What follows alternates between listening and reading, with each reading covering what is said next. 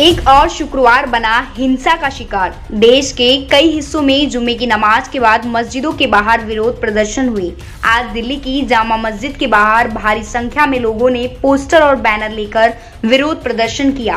दूसरी तरफ़ उत्तर प्रदेश के लखनऊ, प्रयागराज से लेकर सहारनपुर तक जुम्मे की नमाज़ के बाद लोगों ने जमकर विरोध प्रदर्शन किया और बीजेपी के निलंबित नेता नुपुर शर्मा नवीन जिंदल की गिरफ्तारी की मांग की।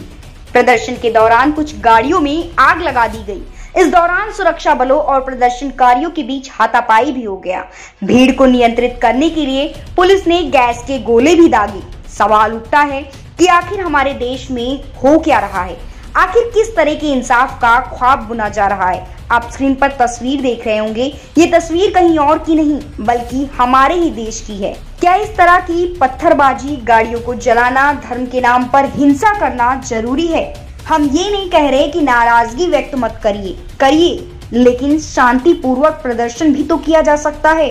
भारत को संविधान से चलने दो। अगर शांति भंग हुई तो इसमें सबका नुकसान है। Bureau report. anti-corruption news.